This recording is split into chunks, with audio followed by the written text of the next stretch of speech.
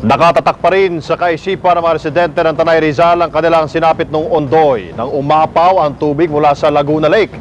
Ginamit nila ang pangambang ito para maghanda sakaling magkaroon ng pangalawang ondoy. Live mula sa Tanay si Trish Roque. Martin, Trish. isang programa bilang paggunita sa paghagupit ng bagyong Ondoy ang isinagawa kanina dito sa Barangay San Isidro, Tanay Rizal. Dahil katabi ito ng Laguna Lake, ah, umapaw itong lugar na ito at na- nabaha ang malaking bahagi nito.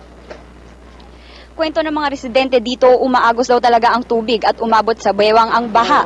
At dahil sa takot at kaba, hindi na nila alam kung ano ang dapat gawin. Kinailangan pa raw nilang hintayin noon ang mga rescue teams. Kaya kaninang umaga, nagsagawa ng Emergency Disaster Risk Reduction Training ang mga Tanay Mountaineers sa mga residente ng Barangay Wawa.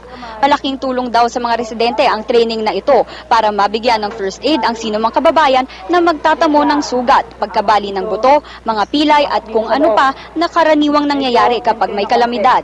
Isang taon matapos ang bagyong Ondoy, may takot pa rin daw ang mga residente pero maganda raw ang mga ganitong hakbang para maging handa sila.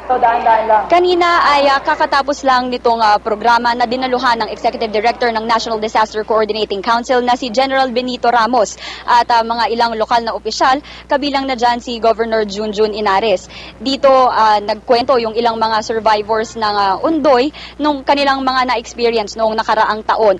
At ah, makikita nyo dito sa aking likuran, ah, in-unveil kanina yung ah, isang Undoy commemorative marker na nagsisimbolo ah, ng ah, mga lessons, mga leksyon na natutunan sa, ba- sa bagyong Ondoy. At ah, ito rin ay nagsisimbolo sa mga pangako ng mga NGOs at LGUs sa pagtulong sa patuloy na, na disaster preparedness sa mga komunidad. Martin?